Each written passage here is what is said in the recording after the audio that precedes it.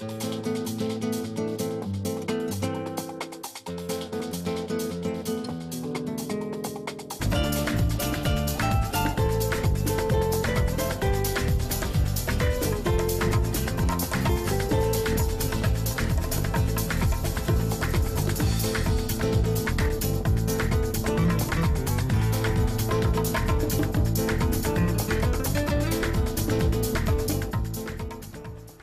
Hi, my name is Marcel Boast. I'm going to tell you a bit about Google. More importantly, Google page number one. Now, I don't have to tell you, but you know you want to be there. You know you want to stay there.